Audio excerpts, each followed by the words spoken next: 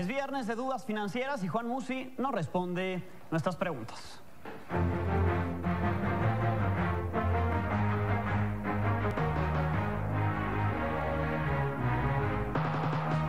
Buenas noches, es viernes y voy a contestar algunas de las preguntas más interesantes que nos llegaron al tuit de arroba se hizo Musi. Las más interesantes se refieren a que mucha gente no sabe qué está sucediendo con el precio del petróleo ni cuáles son sus expectativas, pero sobre todo dicen qué podemos esperar de estas reuniones de la OPEP.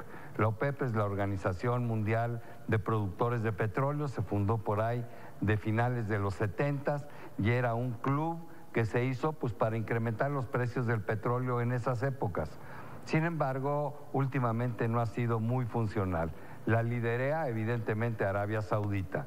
En últimas fechas se ha reunido Arabia Saudita, que como digo es el líder de esa organización, con Qatar, con Emiratos Árabes, con Rusia, que no forma parte del OPEP, pero es un gran productor de petróleo. Es más, hoy es el productor más grande del mundo, arriba de 10.9 millones de barriles diarios.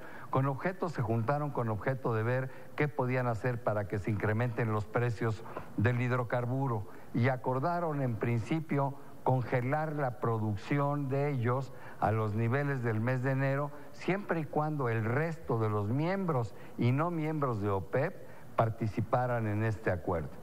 Evidentemente ese acuerdo es muy difícil de lograr. Por un lado está un Irán que estuvo castigado cerca de 10 años y dice, bueno, pues yo no voy a congelar este, mi producción a los niveles de enero porque en enero todavía no se me habían quitado las sanciones, entonces no le parece justo. También tenemos a Irak que no quiere reducir su producción.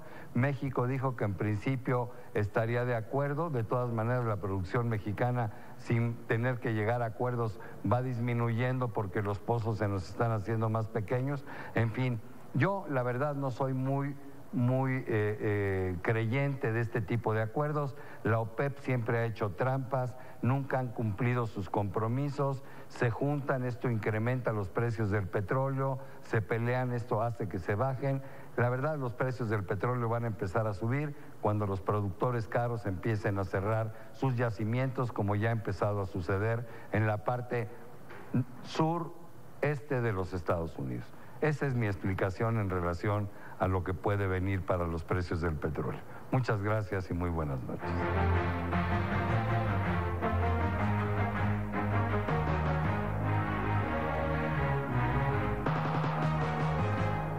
Muchas gracias a Manuel Somoza.